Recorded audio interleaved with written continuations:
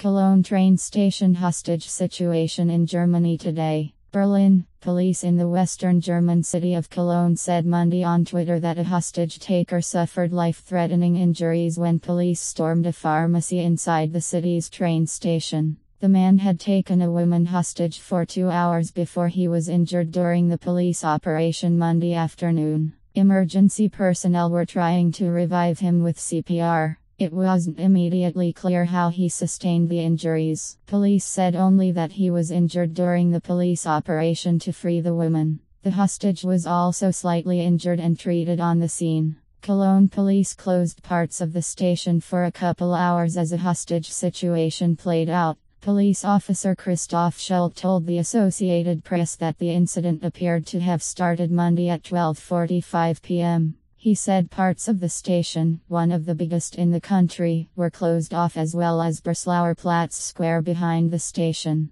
Police used Twitter earlier on Monday to warn people to avoid the station as ambulances and heavily armed police lined up behind the train station, the Daily Kölner Stadtanzeiger reported. Police said there was no immediate suspicion of a link to terrorism. German railroad operator Deutsche Bahn tweeted earlier that some of the station's tracks were shut down and trains were being cancelled or delayed. Based on the materials of the site,